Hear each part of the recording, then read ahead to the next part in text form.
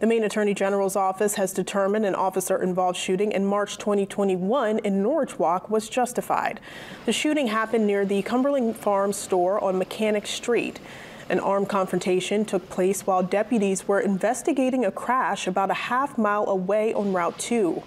A deputy shot 27-year-old Trevor Cowett of Skowhegan after he pointed a gun at officers. Cowett pleaded guilty in July of 2021 to criminal threatening with a dangerous weapon and spent nine months in jail. Every officer involved shooting that has been investigated by the Attorney General's office in Maine has been ruled to be justified.